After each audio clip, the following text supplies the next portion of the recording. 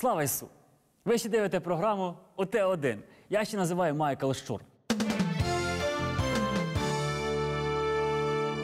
І почнемо з того, що стало головним для більшості українців цього тижня початок опалювального сезону.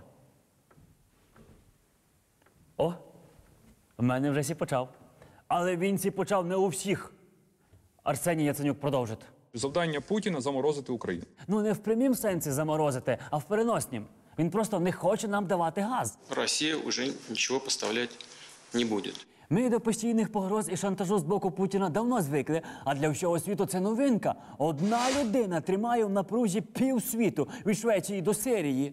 От скажіть мені, чому путінська Росія приносить світові тільки погані новини? Чому Путін хоче, аби його всі боялися і ненавиділи? Чому в світі з'явилося стільки зла?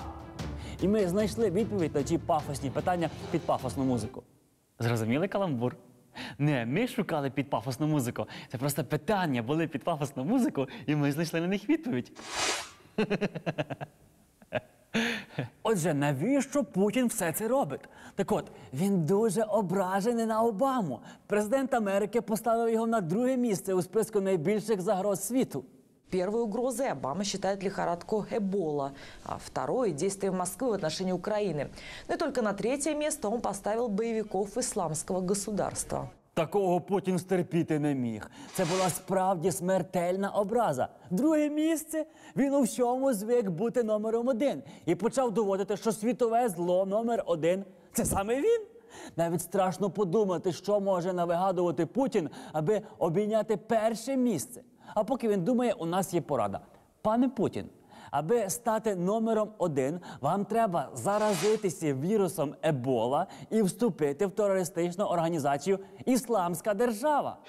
Хоча, а знаєте, що мене найбільше в чому цьому всьому турбує? Як ще правильно вимовляє? Ебола чи ебола? Бо я завжди намагаюся говорити грамотно.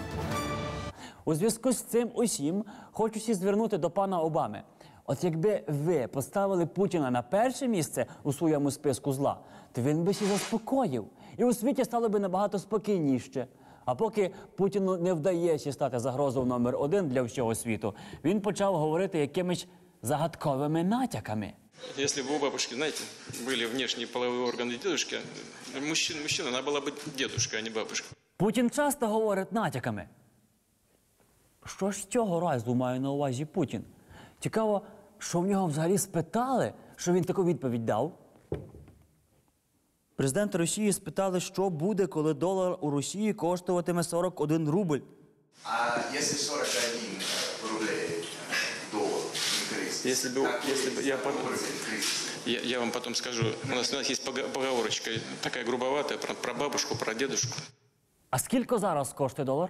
Російський рубль становив новий рекорд свого падіння. Курс долара сьогодні перевищив позначку 41,5 Значить, неможливе стало можливим. Отже, і російські бабусі можуть стати дідусями. Який же зв'язок між російськими бабусями і курсом рубля? Пенсійний вік. Путін натякає на те, що пенсійний вік російських бабусь зрівняючи з пенсійним віком російських дідусів. Если бы у бабушки, знаете, были внешние половые органы дедушки, она была бы дедушка. Путін хоче, щоб російські бабці ще 5 років не отримували пенсій. Треба ж якось платити за Крим наш і санкції.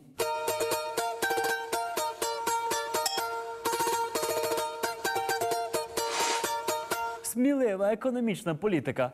Це просто генітально.